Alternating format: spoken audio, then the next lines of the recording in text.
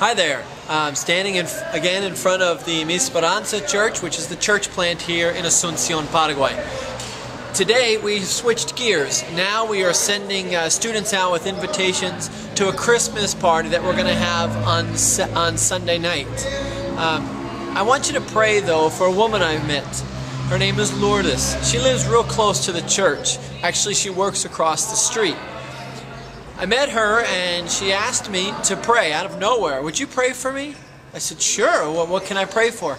Uh, and she told me, today my adopted son died.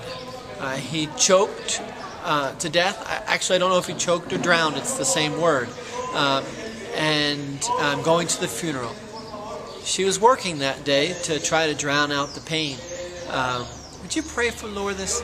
Uh, she needs Jesus, and she needs to know peace in her life, and she needs to know hope. And the name of the church is Mi Esperanza, my hope. My hope is found in no other place than in Jesus Christ. Thank you so much for praying for us here in Paraguay.